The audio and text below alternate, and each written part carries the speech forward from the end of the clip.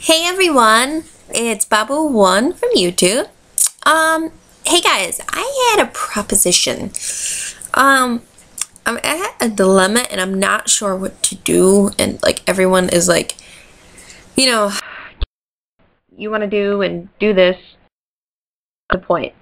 Um, I'm in a dilemma right now to do two out of three things that I want to do. Um, I can either get a photo shoot done with a model and dye my hair or get a tattoo and get my hair dyed. I can only do two out of the three, so it's like really tough for me. Um, I really want a tattoo.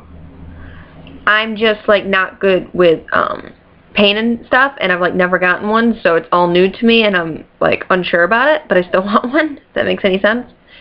Um, and the photo shoot I would like to do because it would help out a friend of mine.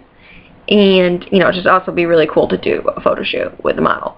Um, like getting my hair dyed is kind of regardless and either one. It's just either the photo shoot or the tattoo.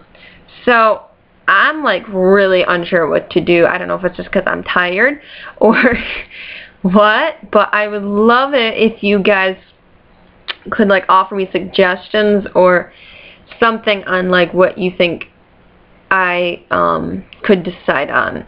Like I know it'll end up being my decision and I'll end up picking what I want. It's just like I would love some input because I'm very confused and yeah, I don't pick things really good.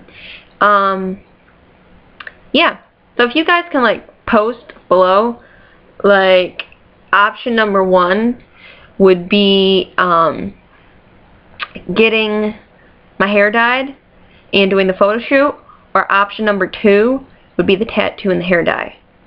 Um, yeah, and the other thing with the tattoo that is in question is also, like, I'm not totally sure of what one I want to get. Um, I don't know if I want to get, like, a band or a date, you know, stuff like that. So, like, I don't even know if I actually have enough money for the tattoo in the first place. I would have to get an estimate on the price. So, there's, like, a lot of ifs with the tattoo, but I may be able to do it, so I'm just not sure what to do. So option number one or option number two?